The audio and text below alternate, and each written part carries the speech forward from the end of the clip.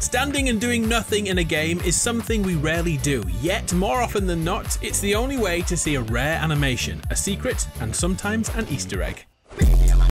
Today we are going AFK in 20 video games to see what happens. Like leaving Grogu too long in LEGO Star Wars, he'll eventually start eating the wildlife, just like he did in The Mandalorian.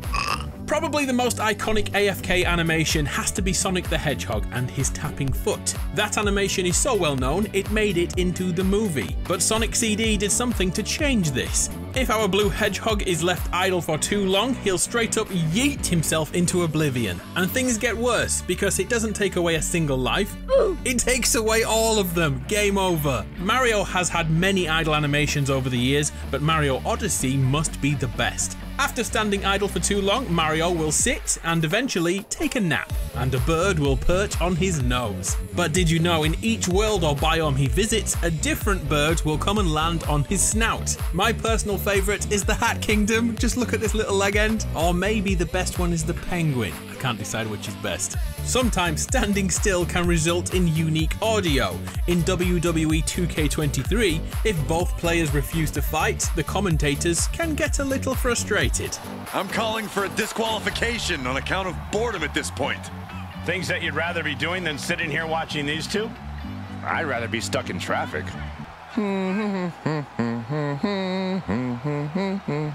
Donkey Kong Country, Tropical Freeze, Banjo Kazooie, and Astro's Playroom all share an AFK animation. Standing around long enough, and all three will whip out their portable gaming devices. Donkey Kong has a Nintendo DS, Banjo Kazooie has an OG Game Boy, and I think Astrobot has a Vita, or is that a PSP? Astro likes to multitask too. He can sometimes be seen using PSVR if unattended. Over in Rage is a great Easter egg. Stand still long enough while holding the rocket launcher, and this happens. A teeny tiny screen begins to play Doom. Insane, I love it. A game you shouldn't AFK in is Gang Beasts, especially on water levels. For example, at the aquarium, an octopus will become very annoyed if you refuse to get involved with the action. Expect a tentacle to come your way and pull inactive players into the void. Whereas on ocean based levels, AFK players will find this happens.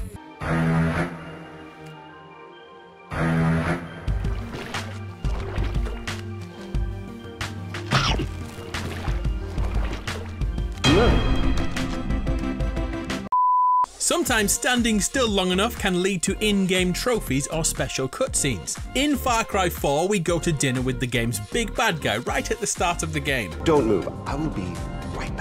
When he steps out for a moment, we are supposed to run away and the game starts for real. Yet, by sitting still and doing absolutely nothing at all, he'll eventually return Fan bloody tastic. You, sir, are a gentleman. and a secret ending will play as somehow this bad guy has become our father figure. It's a surprising ending, but it's canon to me. Back when Uncharted 4 was being revealed at E3, the devs had a massive failure as Nathan Drake refused to move at all. Millions of people watched as he just stood still. Naughty Dog then turned that embarrassment into a hidden trophy in the final release of the game. By standing idle at the same spot as the devs, you'd be gifted the Stage Fright trophy. Literally a trophy for doing nothing at all. Doing absolutely nothing in Hogwarts Legacy reveals countless secret animations. On the character select screen, simply resist touching the controller and your dorm room will come alive. Depending on your progress in the game, you'll experience randomized encounters. From a Niffler escaping your bag in the pursuit of gold, maybe a phoenix will perch in the background, and even the golden snitch from Quidditch will make an appearance. There are so many more, including the beasts you've tamed over the course of the game, and even your house elf will turn up Hopefully, he's in a good mood. Another game to do this is Deadpool. The merc with a mouth can be seen having a scratch. Wait around long enough and he'll start cosplaying in other outfits like X-Force, a tracksuit, a maid, and even this pseudo X-Men outfit. Keep your digits away from the keyboard or controller and eventually he'll talk directly to you. Just wondering, You got any girls in there? Back to LEGO Star Wars, and every single character has multiple idle animations. One in particular is really impressive. Take a look at Anakin's. His lightsaber can malfunction, turning the blue of the Jedi into the red of the Sith foreshadowing his journey to the dark side. I don't think anyone noticed, you're okay, bro. Another Star Wars game is Jedi Survivor, and our hero Cal Kestis has a bunch of AFK details, but there's one which is more epic than all the others. Very occasionally, he'll use the Force to break apart his own lightsaber just to pass the time. No one likes a Jedi who shows off. Gamers usually know how to follow instructions, but have you ever been tempted to just do the opposite of what you're told? In God of War Ragnarok, while playing as Atreus, we are asked to leave the room. And of course, we need to know what happens if we just stand still. Maybe if we just stare at him and say nothing, he'll get the hint and leave. This game also lets you listen in at the door. It doesn't get much better. I'm not joking, son. Go. Well, now this is just getting weird.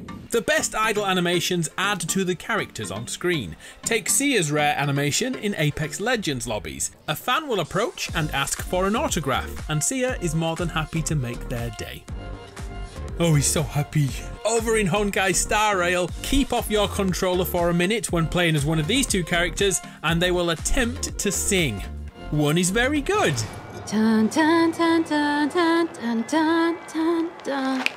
But now listen to this guy. Na, na, na,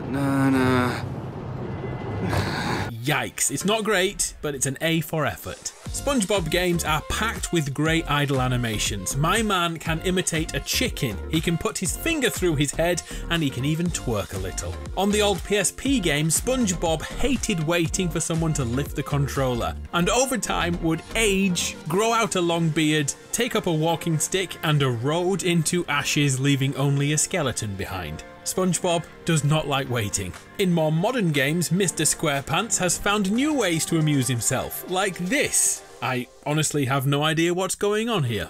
Did you know that Link can visit the restroom in Skyward Sword? There's more, it's also possible to leave him there long enough that he falls asleep on the loo. Luckily, he wakes up just in time to stop a spillage, because that's what heroes do. Conker's Bad Fur Day is a game with some mature themes, even though it looks perfect for children. Yeah, butt. My butt. Be careful not to leave him unaccompanied for too long, as his innocent juggling and video gaming suddenly becomes a makeshift flamethrower and a magazine about beavers. If you don't get that joke, be sure to ask your dad about his favourite beaver.